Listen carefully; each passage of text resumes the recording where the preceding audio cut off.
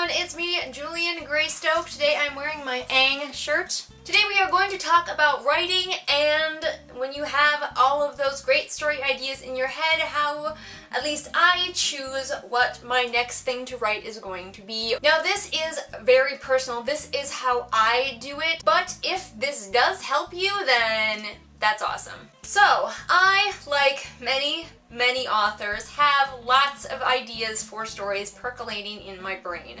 I usually, when I get an idea, go write down the bare bones of it in a Word file labeled story ideas, imaginative I know, where I keep them in reserve for later. But how do I go about choosing what is going to be my next story?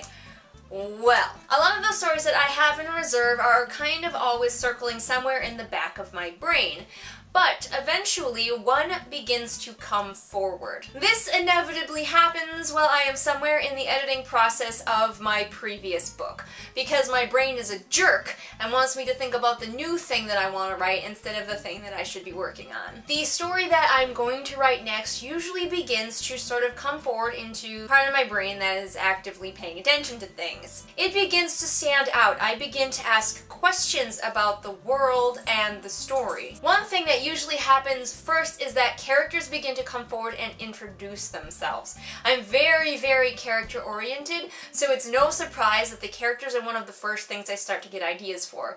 I usually start to begin drawing those characters, I begin shaping their personalities, figuring out who they are, before often I have even figured out how the book is going to go. But that is usually a surefire sign that this book, this idea is going to be the next thing when the characters really start to assert themselves. Another way I can tell that this is going to be my next thing is I can't stop thinking about it. It is in my brain. Whatever I'm doing, it is there in the forefront shouting at me, figure out these details, figure out these details, ah, can't you just not wait to write me?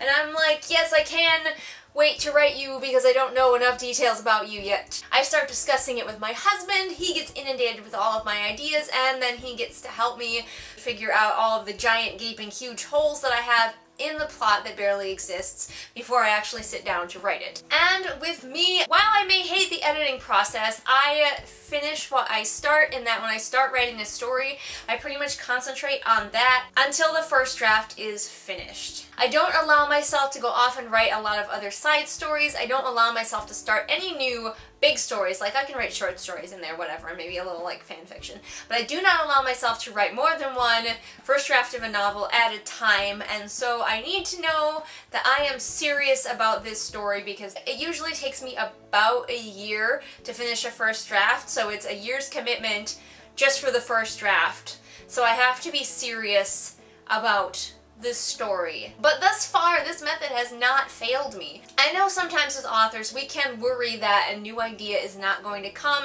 Oh no, what if I'm out of ideas? Well, my brain handily doesn't really do that, which is annoying for my editing process. I, I see ideas stretching out into infinity. I will write all the books. So this is how it works for me and how I choose the one. Some of you out there might have a problem because perhaps your brain will push more than one thing at you. My advice for that is to really give it a little bit of time and let the ideas percolate around in your brain. As soon as you get an awesome idea, don't sit down and begin writing it immediately. I highly recommend that you give all of your ideas a chance to sit around in your brain and the one that sticks, the one that stays, the one that demands details is the one that you should probably write. If the other ideas that maybe aren't the ones that you should write won't get out of your brain, consider maybe plotting them a little bit if you're a plotter and seeing if that gets the juices going or scratches that itch.